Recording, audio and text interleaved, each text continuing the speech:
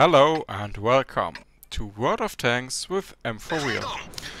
Today I have two replays for you, which you might have already seen, but not from this perspective, because this game, or these games rather, are from Quickybaby's live stream, where I played together with, obviously, Quickybaby and uh, Overthrow, who is surprisingly not in an artillery, but okay, people claim that the Jagdpanzer E100 is a mobile artillery which can only shoot straight and doesn't have artillery over you, but does such as oh, but does as much damage as an artillery.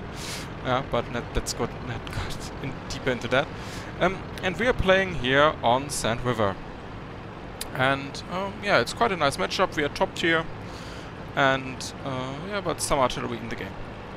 But um, yeah, I'm driving my E100 and as you can see I'm using the E75 or, or the, rather the mouse gun. Why is that? Well, I only just recently unlocked the E100 and uh, yeah, to get the top gun you have to spend 64,000 experience I think. And uh, I'm just grinding through that right now.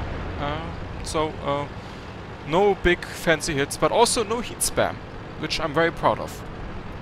Quickie on the other hand, is using his uh, new toy, the uh, Object 260 in this game, which is uh, the stage 4 reward tank for the personal missions. And it's like, it's a beefed up IS-7 with uh, 440 Alpha, basically. Having uh, the small gun on the tank has some advantages, as you just saw. It has very good accuracy and aim time for a heavy tank gun, and with... Uh, oh, Quickybaby just uh, got hit by artillery. Um, you couldn't do that with uh, with the uh, with the 150 millimeter or that. Uh, bye bye uh, bye bye CDC.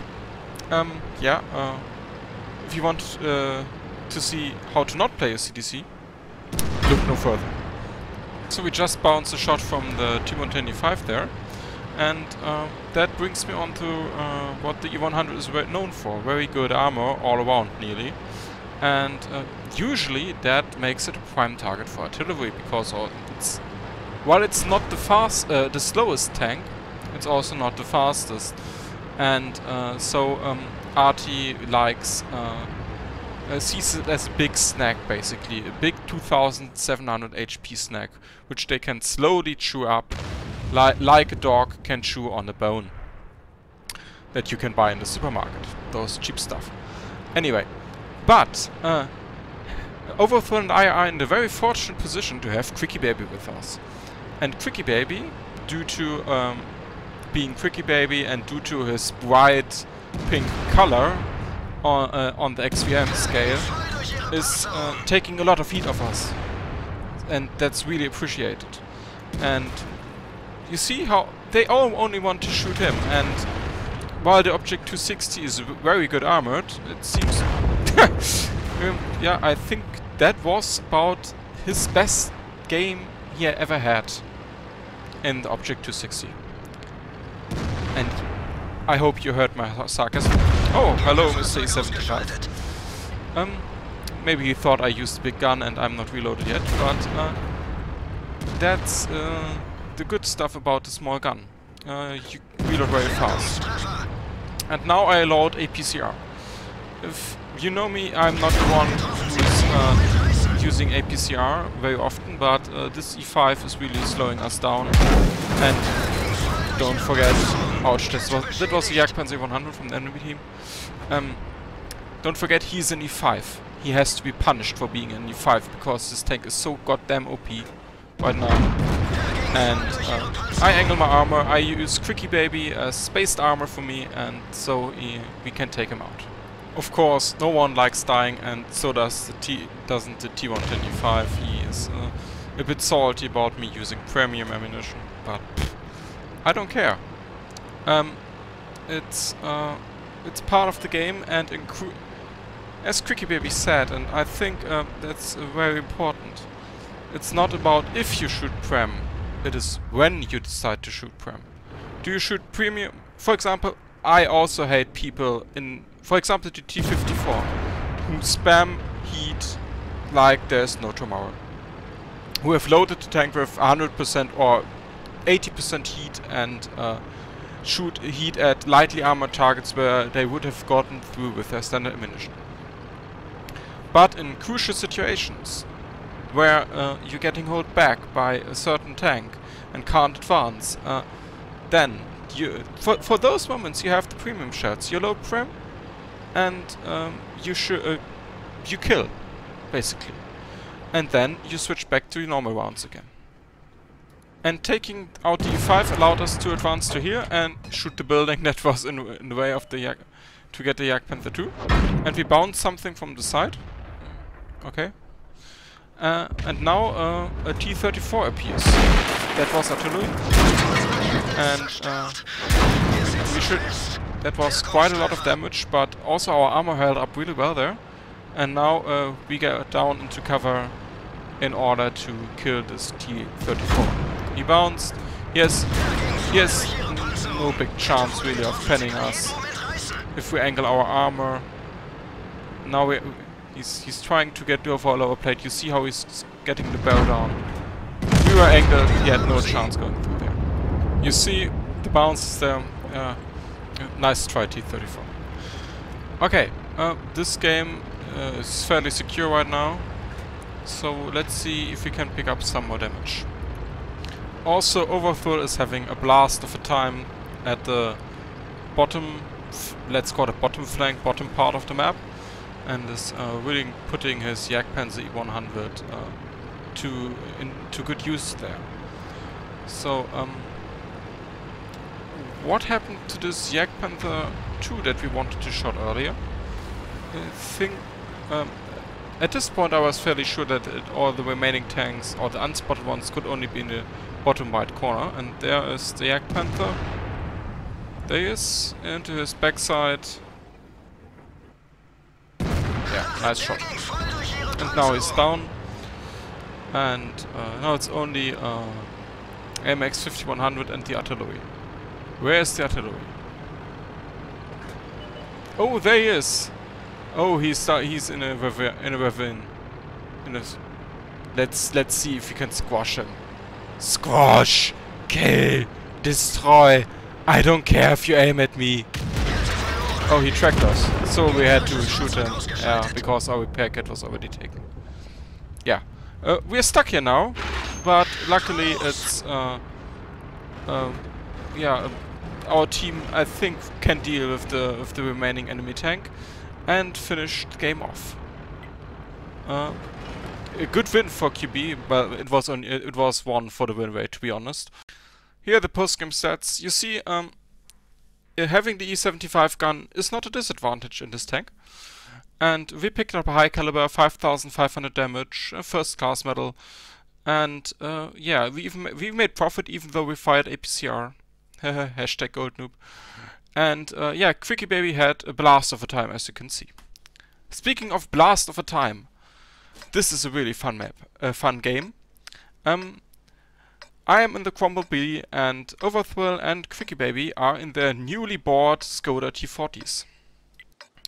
I know, I know, I uh, I posted quite a lot of B games already, Let's but go. bear with me. This one is uh, really fun and uh, will, uh, yeah, don't look at the matchup. It's really, it, it's quite unfair, but um, yeah, um, just uh, enjoy, basically. Yeah, um, also I just realized that in the whole last game I was factual. I didn't talk about anything else than the game or stuff that was related to the game. And I'm I'm I'm really disappointed for myself because I wanted uh, more um, yeah to be more like Phil. Oh. I love killing artilleries, especially with fire. Oh god. God damn why. Um, anyway. I really wanted to improve and uh, getting more off topic. Speaking of off topic, um, I set myself a goal. I want, uh, in the next month, I want to grind the Centurion Action 10. I am at the Centurion 7-1 now, but I am 170,000 experience short.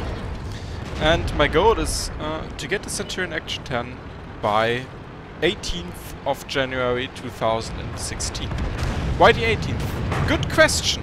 Well, um, it's because uh, on the 19th, Wargaming is deciding who gets uh, the special mission for the tier 8 uh, premium uh, medium tank of the Brits, the replacement of the... Ow, ow, ow. Um, the replacement of um, of the FV4202, the old tier 10 British medium tank. And really, I want to pick one of this up because I um, I kinda like the British tanks. I love my Cromwell-B, as you can already see from a plethora of videos. But I also like uh, the Comet, and right now uh, the Centurion 7-1. It's, it's, just epic. And so, um, from what I saw from the Centurion Action 10, it will be just as epic, but only a, a notch higher. And so I think it would be very good to have another uh, T8 crew trainer. Also, it makes premium credits, which will be very good, I think. And uh, it helps you train your crew more. So that's my goal for um, the next month, basically. And uh, yeah, we just secured ourselves a crucial contribution. Or now. And uh, yeah, uh, I think the game is over by now. And I'm leaning back, taking taking a drink, and then I realized, oh, there's an ELC still alive. And really, from now on, it's just... Um, yeah, um... You know what music comes into mind now?